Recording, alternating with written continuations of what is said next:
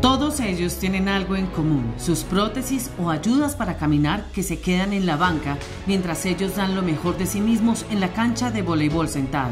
El voleibol sentado es una variación, es una adaptación del voleibol convencional.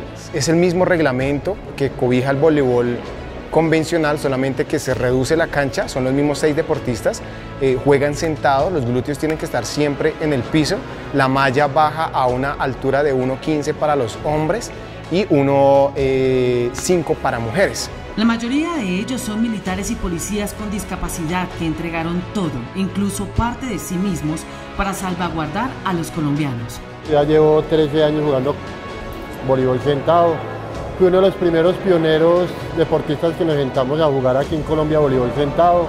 Eh, caí en un campo minado los lados de la Uribe Meta, más o menos llegando a la Julia. Eh, fue un encuentro de combate en el cual nos sembraron minas y caímos, caímos tres compañeros ese día. Y es que fue justamente en el deporte desde donde este entrenador y sus alumnos encontraron las herramientas para ponerle frente a la vida. Mis inicios en el voleibol sentado fueron hace aproximadamente 13 años, cuando em, yo era soldado profesional y eh, lastimosamente pues activé un campo minado, eh, sufrí una discapacidad, me amputaron la pierna izquierda me integro a, este deporte. Dos historias que tienen en común un campo minado que les hizo perder parte de su cuerpo y que a través del deporte los llevó a amar aún más la vida.